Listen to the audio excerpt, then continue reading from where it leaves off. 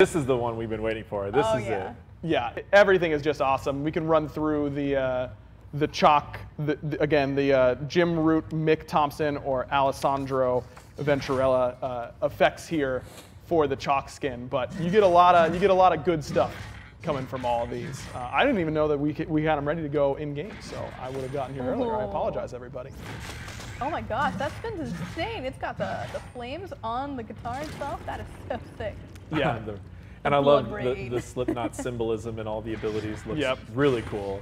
And it fits Smite so well. Yep, it really does. Uh, It definitely uh, fits in with the with the general motifs, but bringing that extra spin to it. Uh, and then there's the ultimate, which Oh, just man. looks absolutely awesome. And it sounds awesome too.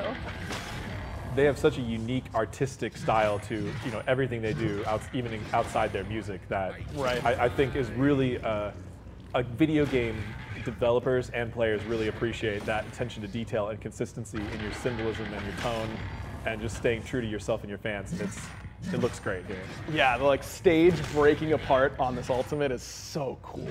Chaac Ult is just one of my favorite ults in the game, but it, th- these skins definitely take it to the next level. Uh, no doubt about that. Um, and I, uh, oh yeah, I already mentioned that you get the VXG with the head headbanging. Can we? Uh, Oh yeah. Well, he's oh he, we're getting we're getting the the Yeah, we get the we get the front end here. This is Alessandro's skin. Uh, oh, I didn't notice the stuff on the on the neck of the bass there for for the skin. You know, you get some little markings down the neck. That's very cool. Yeah. Nice. There we go. putting in those dev commands uh, on the fly is, is harder than it looks. I swear, whenever like clumsy or Lermy is like watching me do it, I like it Yeah. takes me twice as long. I'm like, why am I messing up so much? Clown Raijin. These these effects are, are just Every basic flawless. attack has the symbol. Yep. Oh, and the passive lights up the drums as well. That's Oh. so cool. That is that is really sick. And again, all of the um, all of the different Raijin skins can have some different sound effects. There's the maggot as uh, Raiju as the maggot jumping from one And to the, the- other. That the- icon Nice. looking awesome. So yeah, uh, Clown and Michael Pfaff's drum sounds are, are tuned to sound like their percussion instruments, but Jay Weinberg's drums are going to sound more like a traditional drum set. So that's a, a really cool little attention to detail that you got to play a couple Raijin games. Oh, the- to see. Oh, that's sick. Oh, and the different colors too. Oh, bye, Odin. We'll see you later, bud. Oh no. Save him. He's gonna oh, stop we him. got him. Nice save.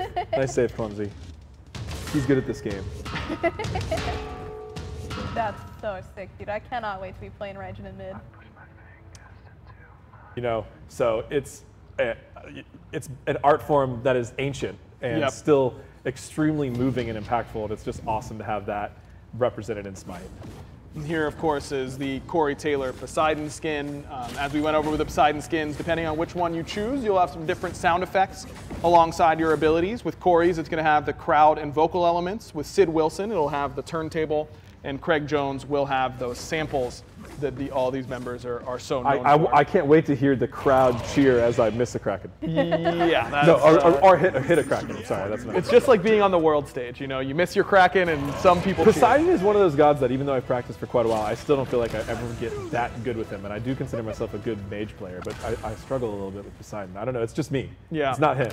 Poseidon is a great god. Dude, the oil barrel, so uh, That is a so cool. beer barrel, I Oh, a believe, beer barrel. Oh, At a excuse me. specific request, working with the band to, you know, make sure we, we, we showed off some uh, side of them, you know, just as, as humans too, right? You know, they're Right. just, you know, they're hardworking humans that make awesome music, but then they, you know, they kick back and chill after hours too, and they have a good time, uh, both when they're on work and off work. Yeah, that is really great. I mean, these guys are absolute rock legends, but also just dudes who have worked hard to get there. So, Yeah, and they really have, you know, for so many years. And, um, you know, uh, there was a recent post that was getting popular again showing them initial performance on like late night Conan I watched way that, back yeah. in the day, which was awesome. Yeah. And like people were all being really uh, happy to see such a unique music being featured on something like that. You right, know, a late night show. That was a big deal. yeah, it was a big deal, and just seeing how far they've come and how they've evolved their live shows to be, you know, such an amazing experience. It really, that's the only way you can describe it. It's a whole experience.